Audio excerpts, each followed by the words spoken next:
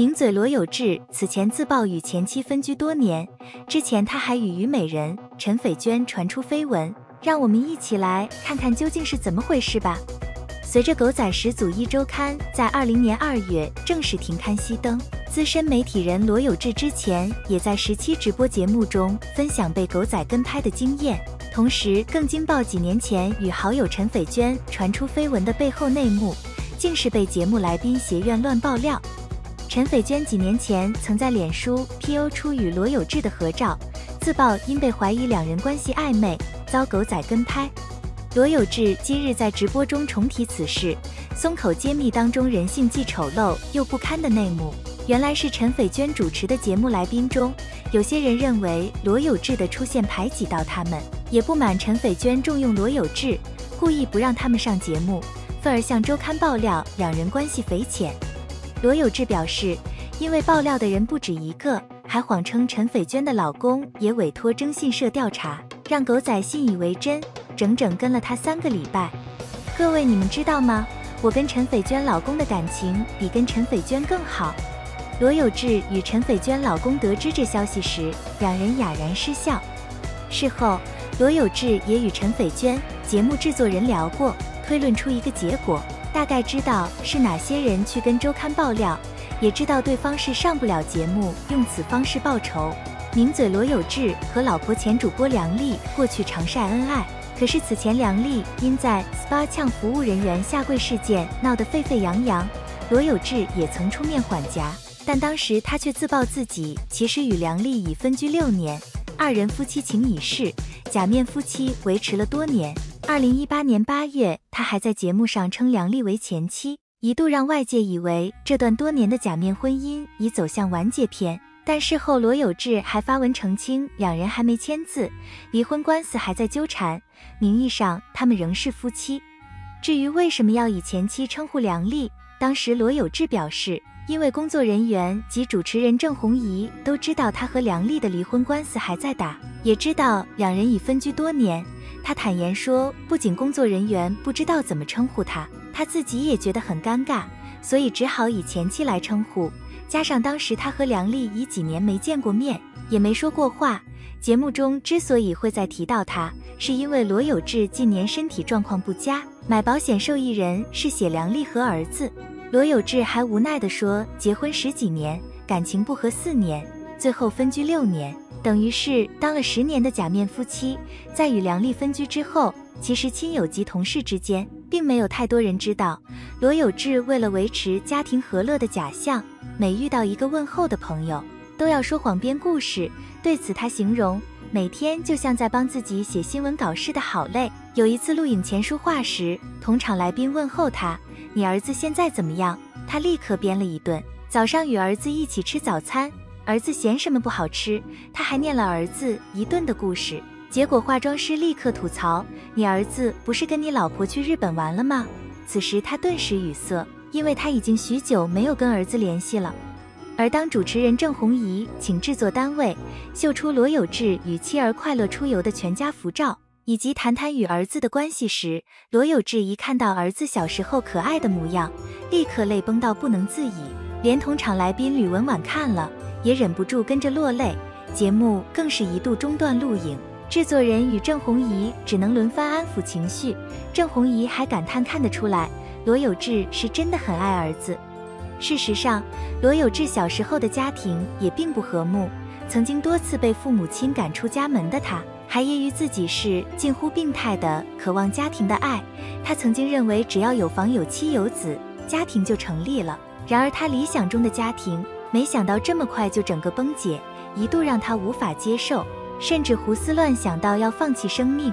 罗有志回忆说，儿子两岁多的那个农历年，他们到上海的娘家度假一周，结果刚到上海，岳母就为了将来儿子要不要念私校的事情跟他发生争执，后来他当场大爆发，接下来的一周与娘家人隔绝，完全不讲话，独自关在房间里，始终没出来。后来罗有志觉得。自己当时太年轻不懂事，完全不给娘家面子，就算梁丽居中缓解也无效。现在的他则说，要是能重来一次，一定不会这样幼稚的耍脾气。而曾经也跟前夫是假面夫妻的吕文婉，还感叹夫妻之间的关系。最恐怖的就是两个人的孤单，同在一个屋檐下，却像是陌生人。另外，罗有志也觉得自己太矜持，不懂得对儿子表达思念或关心。现在对儿子的生活一无所知，就算见了面，也不知道要聊什么。但是每次见到儿子，看到儿子对应得体、讨人喜欢的模样，他就很感谢梁丽教得很好。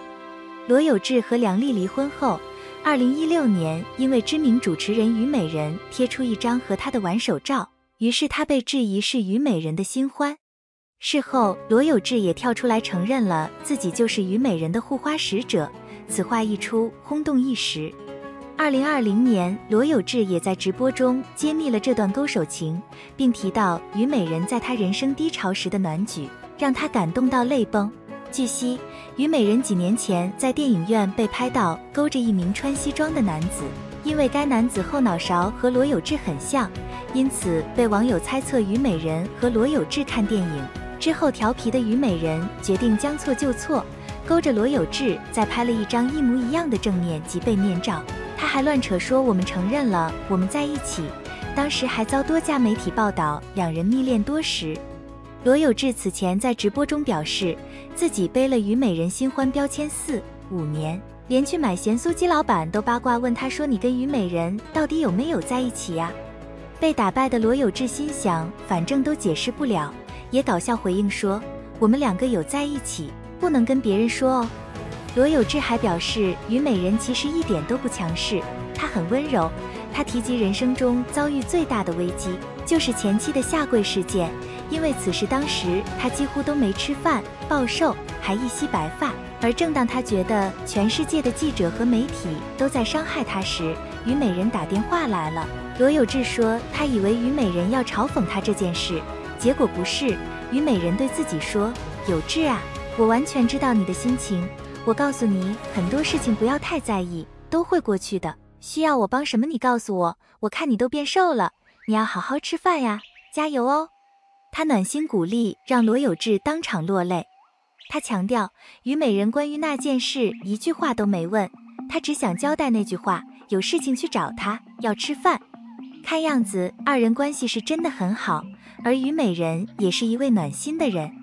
除了和虞美人传出绯闻以外，罗有志此前因为经常上陈斐娟主持的三立五十四新观点畅谈新闻时事，两人因而被狗仔跟拍长达一个月，并被媒体惊爆二人交情匪浅，有不寻常关系。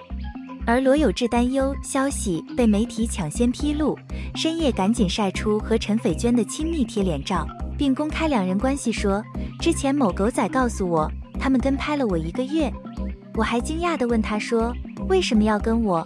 对方笑了笑，回答说：“因为我们收到你跟陈斐娟在一起的消息。”当时罗有志真是好气又好笑的追问说：“结果呢？”只见那狗仔哀怨回应说：“跟了一个月，发现你们生活真的很乏味，太无聊了，啥也没有。”听完后，罗有志只能苦笑，并撇清两人关系，说二人真的只是很好同行，大家常常开心吃吃饭而已，绝不可能衍生暧昧情愫。陈斐娟也回应说，与其让狗仔拍，不如我自己晒。有看过桌子这么大，人这么少，菜也这么多的晚餐吗？只是录完像，肚子饿了，会和罗有志他们一起吃饭而已。可以看出来，罗有志平常应该和同事关系不错，不过也有人说他有一些意气用事，不太顾及别人。如今罗有志与梁丽的关系仍旧耐人寻味，至于何时有一个最终了结？我们还不得而知，只希望两个人能给彼此一个体面。在感情上经历这么多的误会和坎坷，相信罗有志对于感情也有了新的认识。